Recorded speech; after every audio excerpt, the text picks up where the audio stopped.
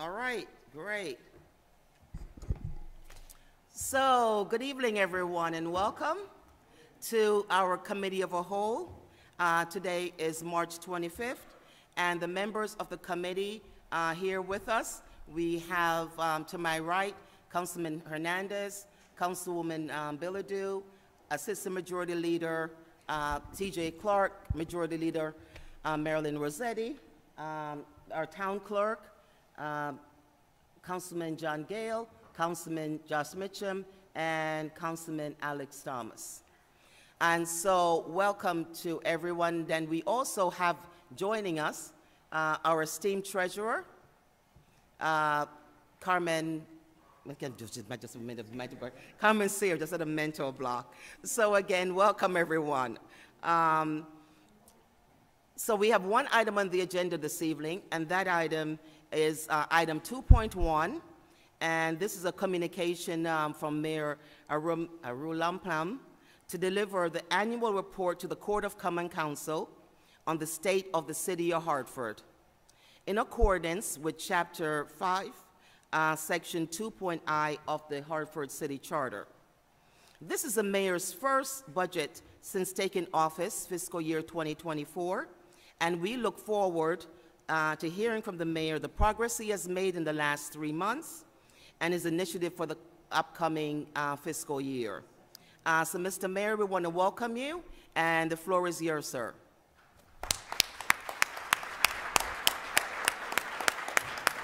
We'll shake, you can shake our hands. Shake everybody's hand. Shake everybody's hand.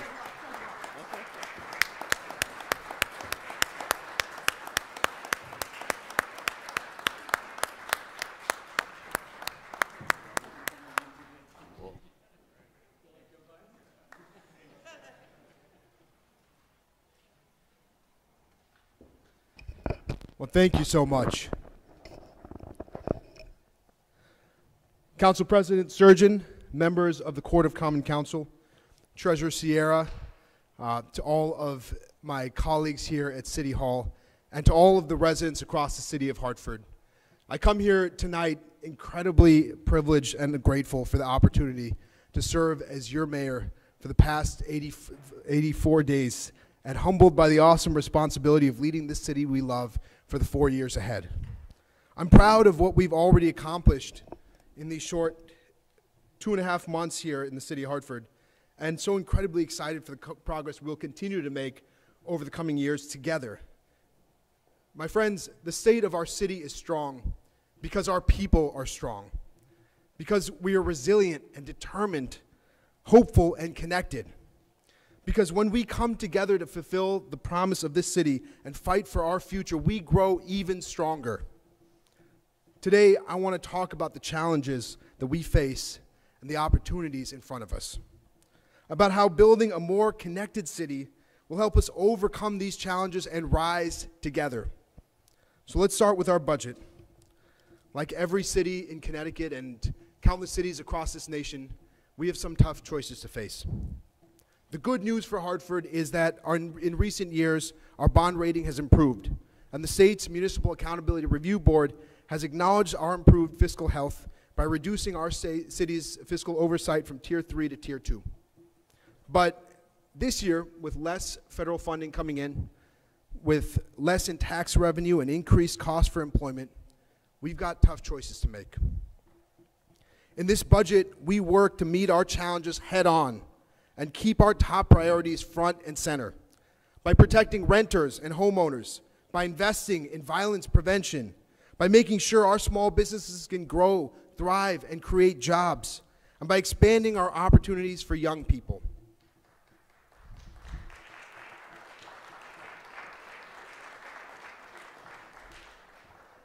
And we're going to do that without cutting city services or raising taxes or fees on our residents who are already facing increased costs. In the midst of financially challenging times, we're still making the investments in building a city that allows residents to thrive, businesses to grow, and families to build a strong foundation for the future. And that begins by bringing down the cost of housing, both by creating more affordable housing and by protecting renters from negligent landlords. That's why we created the city's first housing liaison and established and established a problem landlords task force. We're bringing together housing officials to, with so, social services and law enforcement to identify the problems and create solutions to protect our residents.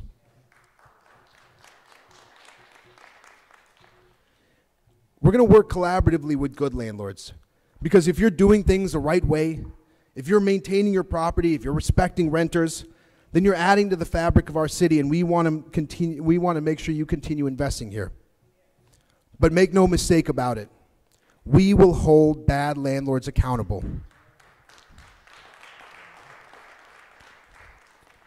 So to the bad landlords, hiding behind a maze of corporate structure, I've said it before and I'll say it again. We are coming for you. Your days of exploiting hardworking residents by charging high rates for unsanitary and unsafe rentals are coming to an end. You know, during our housing week in February, we did a press conference in front of a blighted building. And there's a man from inside who, who saw me and came out and said, Hey, do you work for the city? And what do I have to do to do something about my landlord? And I told him, look, he, he couldn't get in touch with his landlord, not because he hadn't tried, but because that landlord was hiding behind three different corporate names and a maze of corporate bureaucracy. And the back of the parking lot had been fully iced over. There were heaps of trash and waste. There were abandoned cars out there. There was bed bugs in his, in his apartment. He wasn't asking for that much. He just wanted someone to listen. He needed somebody to help. I told him that every city official he needed to talk to was right there in front of him, and that we were actually already going after that landlord at that property and all of the 14 other properties he owned across the city of Hartford, and that we were going to keep fighting until problems like his were solved. So, for him and to every other resident out there struggling with unsanitary conditions and rising rents, we hear you. We see you. We'll fight for you because you deserve better. Our neighborhoods deserve better, and our city deserves better.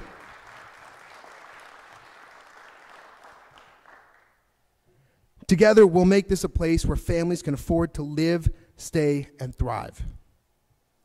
But affordable homes and apartments get us only part of the way to stronger neighborhoods. We need to make our streets safer as well. That means working with our law enforcement and giving the, them the tools they need without expecting them to solve every problem. It means redoubling our efforts to get illegal guns off of our streets.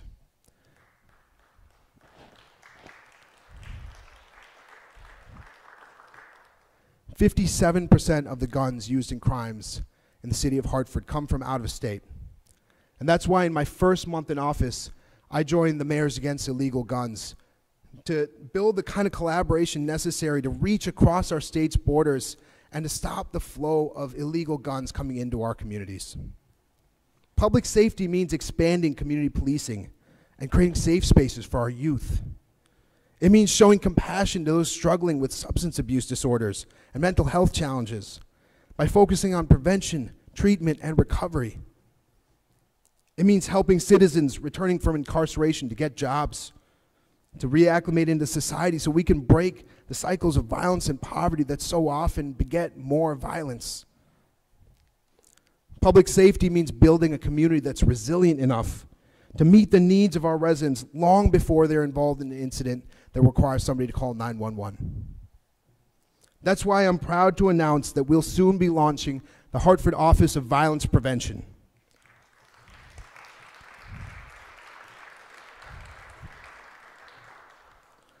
Our office will increase coordination, collaboration, and communication between nonprofits, our police, and our schools.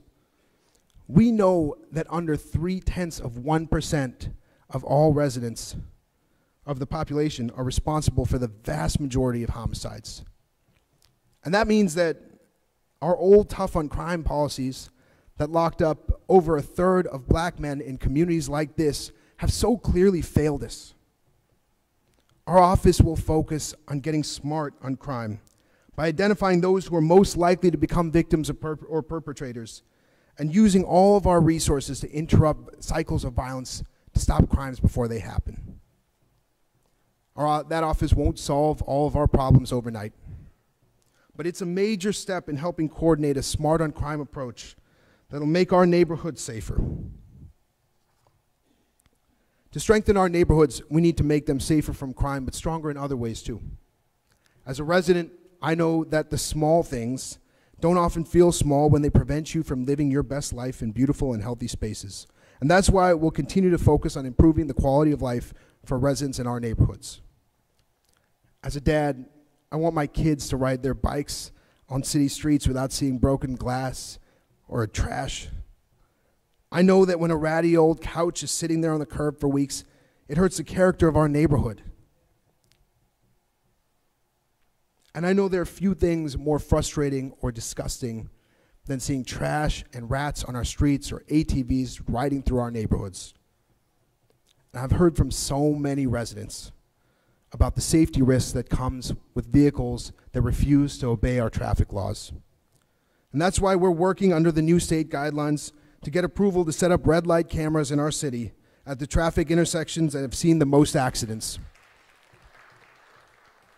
Because everyone deserves to feel safe on our streets and on our sidewalks. And we'll work to improve all of our city services so that every resident and every neighborhood can expect the very best service. And that includes getting snow plowed in every corner of this city. You know, when we had our last big snowstorm, I got calls from friends in neighboring towns who told me, you know what? The streets actually get better when you get into Hartford. And it filled me with so much pride because I. I remember snowstorms in which that wasn't the case, in which the opposite was the case. So I hope you'll all join me in thanking our Department of Public Works and every city official who worked extra shifts through long nights and early mornings to make sure we were able to get our kids to school on time and employees to work.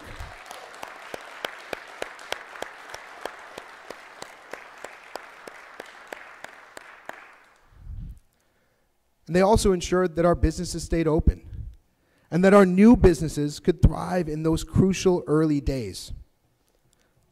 Make no mistake about it, new businesses are opening all over Hartford, and we're working to make it easier than ever to do so. In early January, we created the Business One Stop. It's a new program that creates a one stop shop for anyone who wants to start a new business.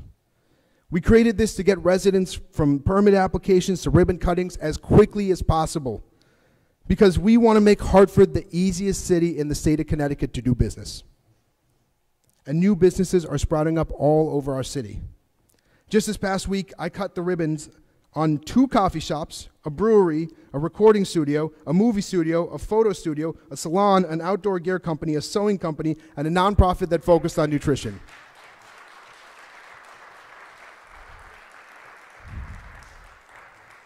I mean, I don't think I've gone seven days in this office without cutting a ribbon. You, many of you will remember when this council was sworn in, Council President Surgeon talking about how uh, we wanted to build more coffee shops in the city of Hartford. Yep. Since that time, just two months ago, we've had five new coffee shops open in the city of Hartford.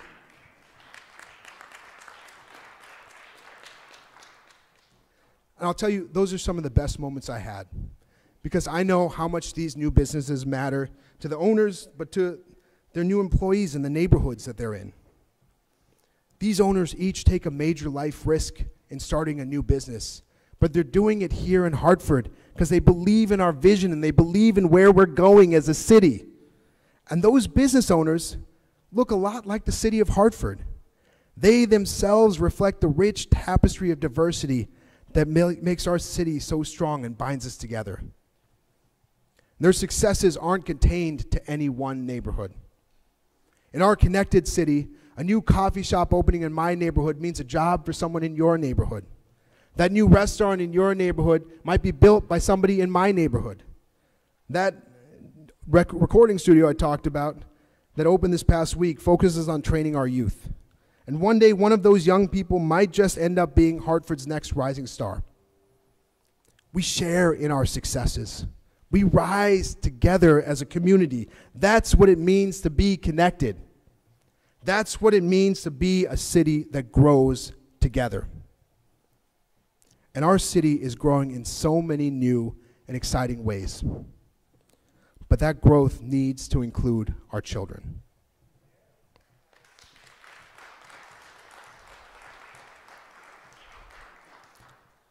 As you all well know, I'm a father of five young kids. And I know that my kids' schools are your kids' schools and that all of our kids are worth fighting for. Like school districts across our state, ours faces deficits as a result of federal funds that are drying up this year, along with the con- contending the, with the ongoing impacts of Sheff versus O'Neill. So we're going to have to have tough conversations to set our priorities and make sure our students' needs are being met, and to make sure our teachers get the support, respect, and gratitude that they deserve.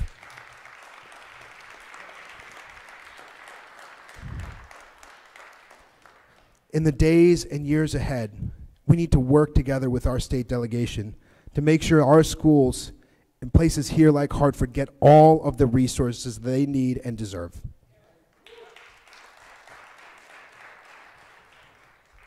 But we also can't stop engaging children when the school day's over. And that's why we created the Department of Sports and Recreation in the city of Hartford.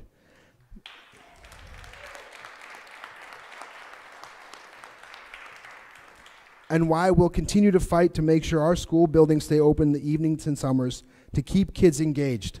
It's an investment in our youth and an investment in our future.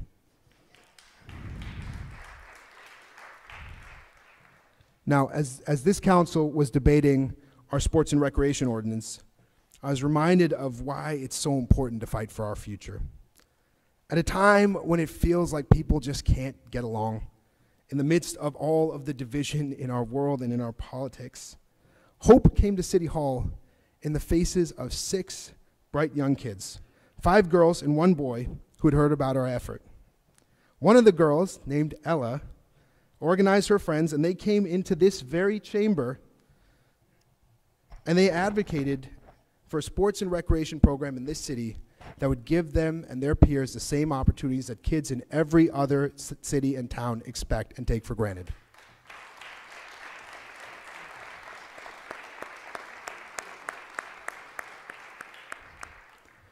They made the case better than any of us could.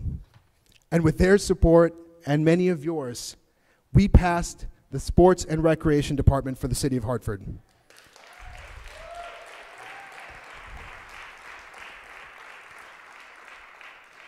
And as you might have guessed, those six kids are here with us tonight.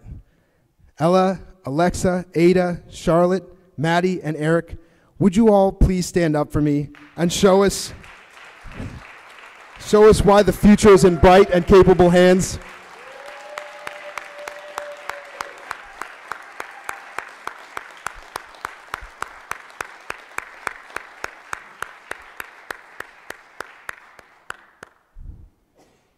We are so proud of you. Now, I have to tell you, these kids didn't come here just to fight for themselves. They talked about their peers as well. In the midst of all of the ugliness of our politics, they made me reflect for a moment about the unbridled hope and optimism that led me to run for mayor. It's an optimism that I think all of us share in our hearts. It's an optimism that led each of us into a career in public service. Look, if these kids can work together to look out for another, one another, if they can engage in our democratic process like that, then we can too.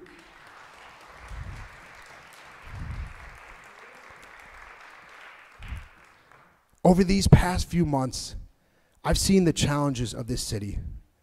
But everywhere I turn, I see seeds of hope in this city. I see neighbors shoveling out neighbors in the midst of snowstorms, and our youth service corps wor- working alongside them across streets in Hartford. I see advocates coming and fighting passionately for the things they believe in. I've gotten to be there when small businesses opened up, bringing jobs and investments into our neighborhoods. I've seen people from the age of 10 to the age of 70 get involved in the political process for the very first time because, like me and you, they believe in Hartford. And so, in this year ahead, I'm asking you to keep believing, to keep fighting, to keep reaching, to stay connected. Because, Hartford, if we work together, if we fight together, there's nothing that we can't do. Thank you. God bless you, and God bless this city.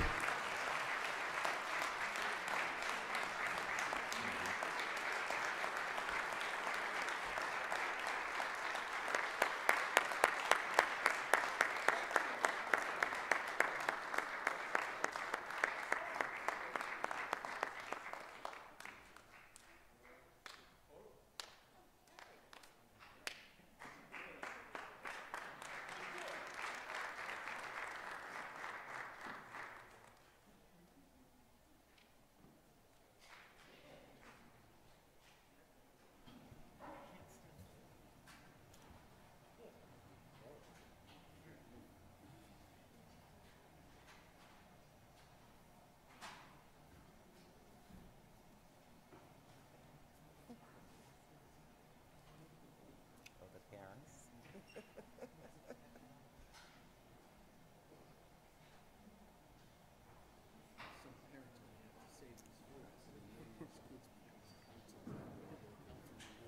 Okay, all the parents finished taking pictures? Awesome.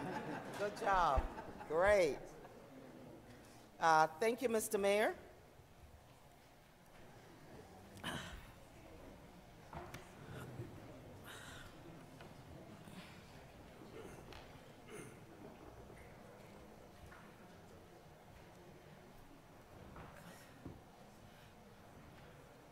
Before I adjourn the meeting, I just want to remind everyone that we have an upcoming council meeting at 7 PM, and right after the council meeting, um, the mayor has an open house right down at the function room. So um, please join us um, for the uh, mayor's um, reception in the function room. And um, that's right after our council meeting, which shouldn't be so long. We have a short council meeting this evening. So I'll be finished at least by 7:20. Uh, I have a motion and a motion on the floor to adjourn the meeting. Second. Motion has been properly uh, and seconded. Do all those in favor of joining the meeting, joining the meeting? Say aye, yes. The meeting is adjourned. Thank you, everyone. See you at seven.